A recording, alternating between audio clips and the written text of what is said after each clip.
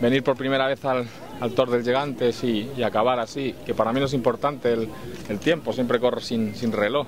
Este tipo de pruebas es la grandeza que tienen, que no hace falta reloj.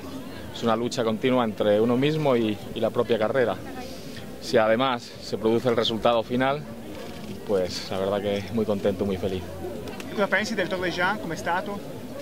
Eh, bueno, como he dicho antes, es una, una cursa magnífica, muy dura, muy dura, y hay que estar mentalmente, no físicamente, mentalmente muy convencido de que uno la quiere hacer. Porque hay momentos muy gratificantes, pero momentos muy duros. Ahora mismo el, el, el músculo que más me duele es la lengua, de, de apretar. Il, momento più bello, che mi dicevi prima? El più bello. Bueno, yo disfruto mucho con los paisajes, ¿no?